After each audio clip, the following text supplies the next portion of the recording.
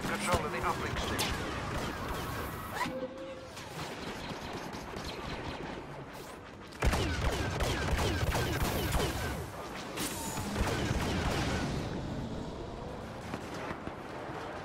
Rebel uplink interrupted.